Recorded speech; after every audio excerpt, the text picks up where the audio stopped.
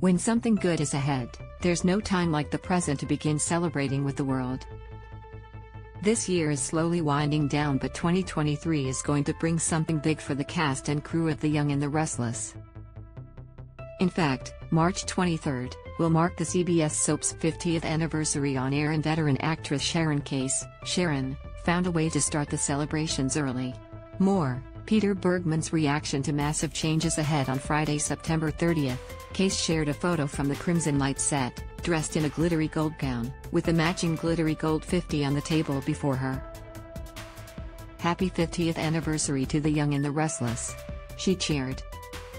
I'm so honored to be a part of this great show.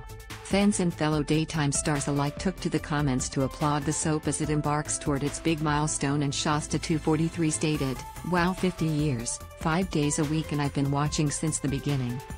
Y&R you've been there for me through 3 babies, 2 divorces and getting my degree. Thanks for always being there.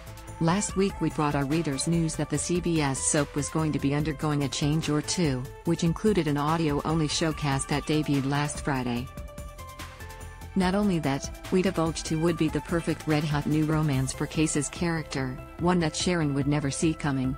Now that we've given fans a bit to look forward to, we'd love to hear what you want to see in 2023 for the number one daytime drama. Share your wishes with us and other fans in the comments section.